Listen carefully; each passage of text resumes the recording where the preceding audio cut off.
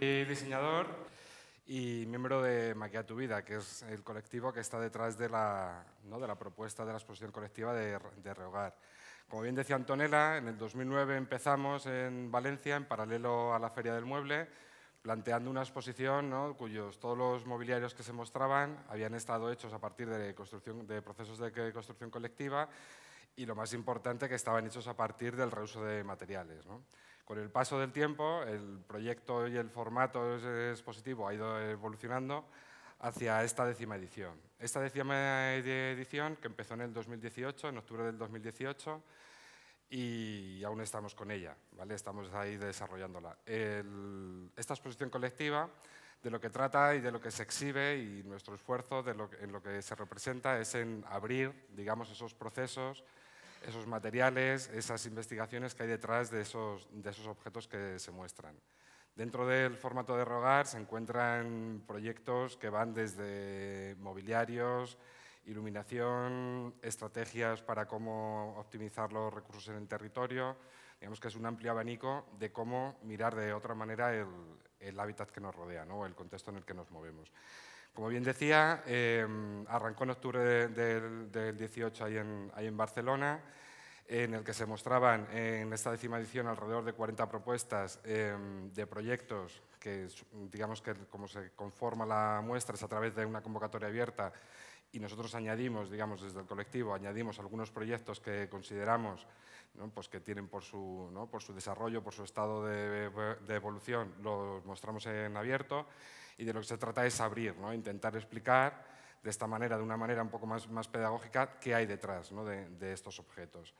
Eh, arrancamos en Valencia, en diciembre hasta febrero del, del 19 fuimos para, para Tabacalera, en San Sebastián y de la mano de Iriki Labs, que es otro laboratorio ciudadano que está allá, eh, hicimos una, edición allá. Allá también, digamos que una de las cosas importantes dentro del contexto del formato de Rehogar no solamente es la muestra de estos proyectos, sino es realmente el trabajar estos grupos de trabajo, estas actividades que se hacen en paralelo. Em, en este periplo ¿no? de esta itinerancia de esta décima edición, eh, aterrizamos en junio aquí en Madrid, ¿no? de la mano de Medialas Prado, y aquí cuando llegamos aquí a Madrid, digamos que el formato se diversificó. ¿no? Teníamos por una parte lo que era la muestra que ocurría en las instalaciones de la Central del, Diseño, en DIMAT, ahí en Matadero, Madrid, y la parte de, no menos importante del, ¿no? del grueso de las actividades que pasaba aquí en las instalaciones de Medialas Prado. Em, bueno, un poco por empezar, digamos, y por explicaros cuál es esa otra parte ¿no? de las actividades, arrancamos con el, con el, grupo de lectura de Víctor Papanek de la mano de Raquel Pelta, en el que de alguna manera era un diseñador austríaco que allá en el 77 él sacó un libro que era el diseño para el mundo real, en el cual plantea muchos de los, de los, manifiestos o de los puntos iniciales del trabajo que desarrollamos actualmente nosotros como, como, como, como colectivo, como grupo. ¿no? donde esa idea de la ecología, donde la idea del diseño, donde la idea de la economía está toda mezclada y de alguna manera qué influencia tiene desde la transformación desde lo social. También en el marco de estas actividades teníamos la, oportunidad de contar con aquellos proyectos que se muestran en la, exposición y una de las, digamos, de las motivaciones o de las excusas de Rehogar es conectar estos proyectos que vienen de un ámbito internacional, conectarlo a lo que son eh, las comunidades más locales. Eh, en este caso tuvimos la presencia de Miquel Ballester, que es cofundador de Fairphone, que es un teléfono modular, que lo que permite es la reparabilidad y que tú mismo como usuario lo puedas arreglar y no tengas que recurrir a ningún servicio técnico. Y él nos explicaba a través de un taller, básicamente analizando nuestros propios terminales, de dónde venían todas esas diversidades de, minerales que, contienen esos terminales móviles, ¿no? y digamos, haciendo digamos, una incidencia en, los problemas o en, todo lo que genera la extracción de estos, de estos minerales de, sus lugares, de, de sus fuentes.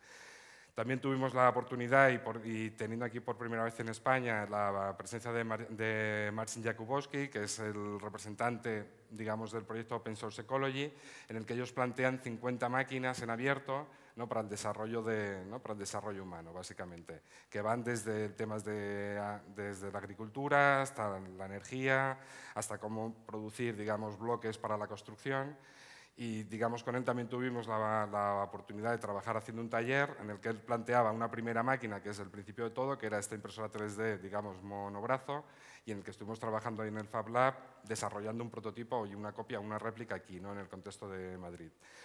Trabajando, como decía antes, con el tema de las comunidades locales, eh, también tuvimos la participación de Basurama, ¿vale? que es un colectivo casi que hermano ¿no? de aquí de la ciudad, y en el que estuvimos trabajando pensando y cómo podíamos mejorar o cómo podíamos optimizar aquellos espacios escolares, ¿no? a través sobre todo de la parte más importante que es de la transformación de esos, de esos mm, digamos, como residuos, no, no, quería decir residuos porque para nosotros son recursos, para generar, digamos, como, como nuevos espacios.